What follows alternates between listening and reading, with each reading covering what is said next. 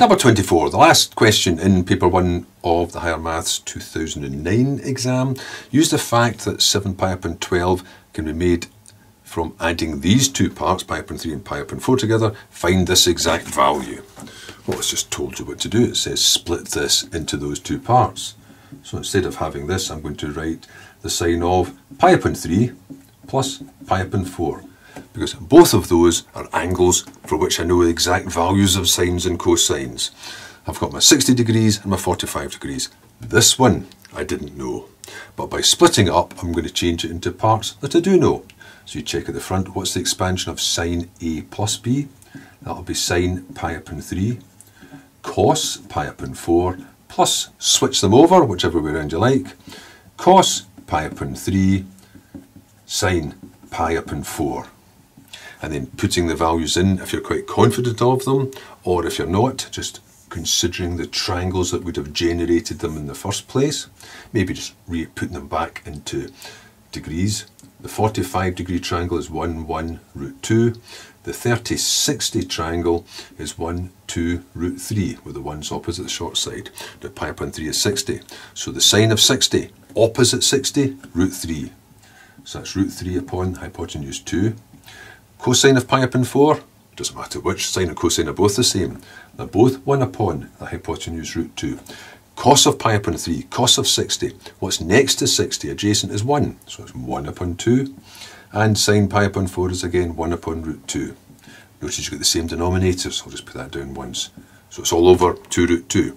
This side says I've got root 3, and that side says I've got 1. Well, that would just do nicely then. So there would be the exact value.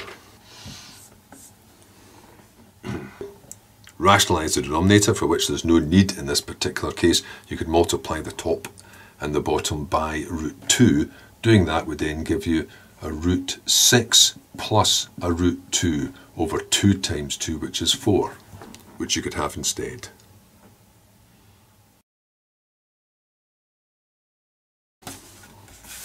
Part B then, show that sine A plus B and sine A minus B is equal to this.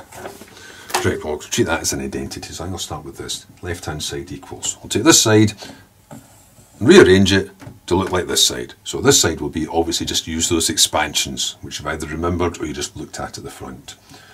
So sine A plus B, sine A cos B plus cos A sine B, sine A minus B, same thing. Sine A cos B, but minus cos A sine B. Then some parts will go cos A sine B, cos A sine B, positive, negative. I'm just left with two of those, so that just equals two lots of sine A cos B, which equals the right hand side.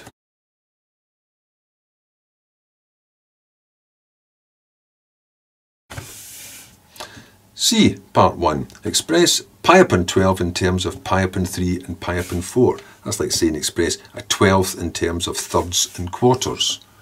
Well, that would be a third. Take away a quarter, a third being bigger. So that's just going to be pi upon 3 minus pi upon 4. One third minus one quarter being 4 twelfths minus 3 twelfths is 1 twelfth. That's the first part. Hmm. Second part, hence or otherwise find the exact value of this, of sine 7 pi upon 12 plus sine pi up upon 12.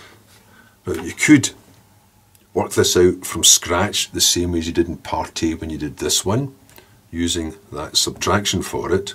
Or you could think, well, that must be something to do with part B.